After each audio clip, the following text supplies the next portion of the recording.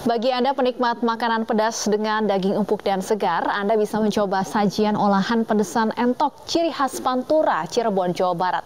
Masakan pedesan entok berkuah ini bisa membuat penikmatnya ketagihan. Seperti apa rasa dan pedasnya daging entok? Berikut liputannya.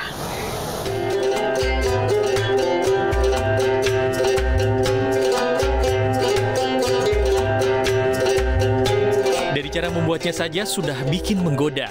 Ya, inilah deretan ratusan itik atau entok yang siap diolah menjadi menu santapan pedesan entok, ciri khas Pantura Cirebon. Rumah makan Mas Nana yang terletak di Jalan Fatailah, Kecamatan Weru, Kabupaten Cirebon ini tak pernah sepi pembeli. Biasanya olahan daging entok alot saat dimakan.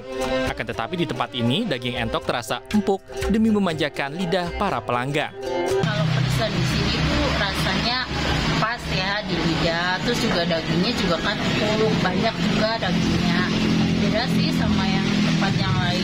Enakan di sini kalau menurut saya, karena udah terbiasa di sini juga. Mungkin karena dari bumbunya ya, dari bumbunya mungkin kayak ada rempah-rempahnya sama ya cirasnya juga karena pedesnya itu loh sambelnya itu.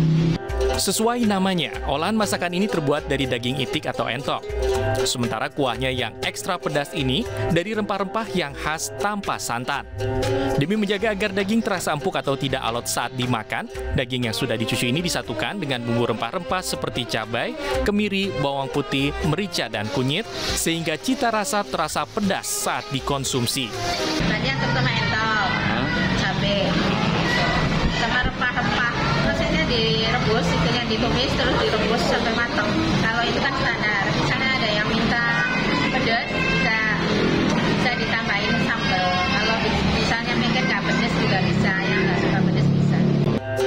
Uniknya rasa pedas ini tidak hanya terasa di lidah saja, tapi rasa pedas ini juga bisa menghangatkan tubuh.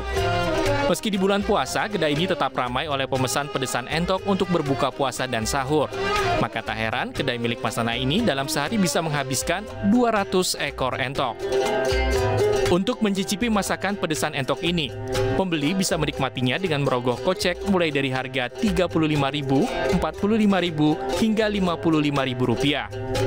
Anda penasaran mencoba menu kuliner pedesan entok untuk berbuka yang satu ini?